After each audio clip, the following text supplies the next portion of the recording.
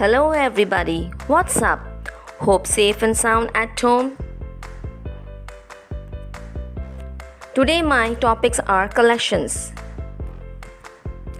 Actually, collections are also called collective nouns.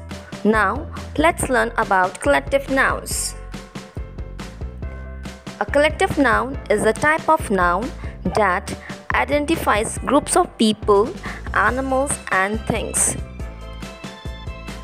Although collective nouns are plural, but they represent one whole thing. For example, family.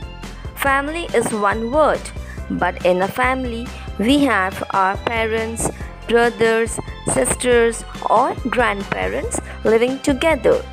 One more example class. In the class, we have many students and collectively they are called class. Now, I give you an example to clarify class.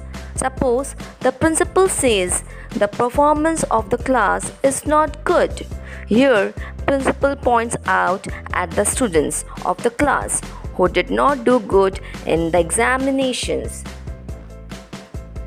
So in this way, I would like to give you more example with their meanings such as crowd, a large number of common people, team, a number of players, herd, a large number of domestic animals, army, a large number of soldiers, fleet, a large number of ships, jury, a large number of senior judge.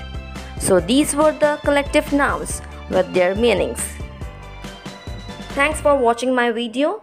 Take care. Allah Hafiz.